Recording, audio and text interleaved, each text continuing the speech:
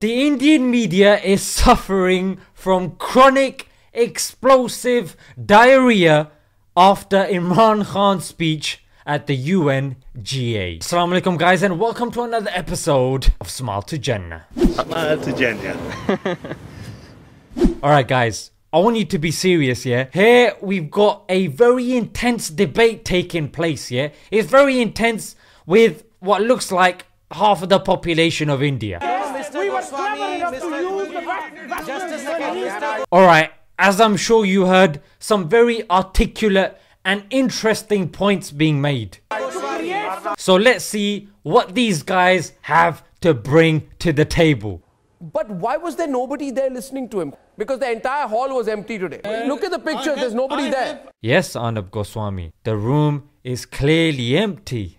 yes. Guys, when's the last time this guy went to the opticians? I think he's legally blind. How are you able to present a show when you're blind? Yeah, I think that's talent right there. Let's have a look at Modi. इस जनादेश से निकला संदेश इससे भी ज्यादा बड़ा नमस्कार Wow. that's just embarrassing, mate. 17 times he said, I'm a poor country. I'm a poor country. Yeah, I'm pretty sure he didn't say that at all. In fact, anyone with any basic understanding of the English language wouldn't say that. That's something a madman would do. The definition of a madman is a man who addresses himself and goes on non-stop. Look, Arnab, I've got to ask, what dictionary are you using? Because son, putter, whichever dictionary it is, burn it.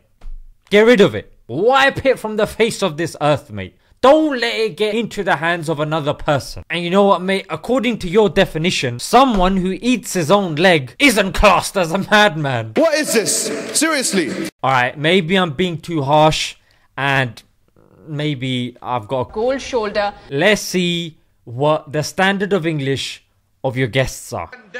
What did you do? Right.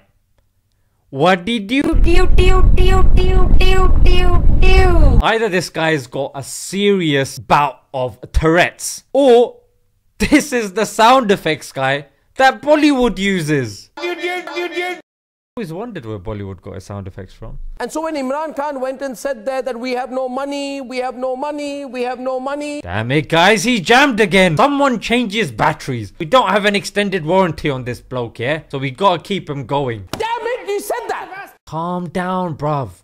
Have a biscuit. You're spitting all over the place. I can be very rude as you know. मेरी बात सुन पुत्र गुस्सा थूक दे spit out your anger mate. Yeah that sounds dead in english. That Imran Khan is obsessed with India. He's completely obsessed, obsessed to the power of infinity. whoa!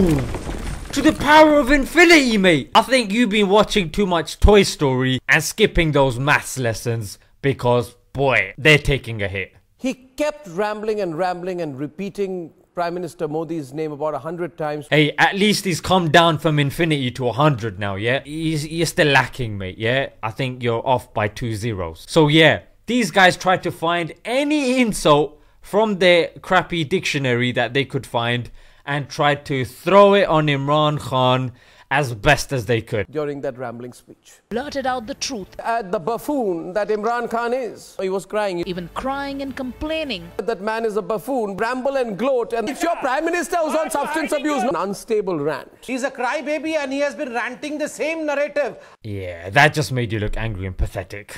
Wha- uh, Sambit Patra, Sambit Patra, Sambit Patra, Sambit Patra. Oh, hello. He's malfunctioning again. Someone get the batteries. Boy, you gotta stop getting these Chinese batteries, mate. Need some Duracell up in here. And you know what? I think that's a sign. I gotta go before Uncle gets on my case again. What did you do? Uncle, I'm sorry. I'm gonna go now. Until next time, guys. Assalamu alaikum.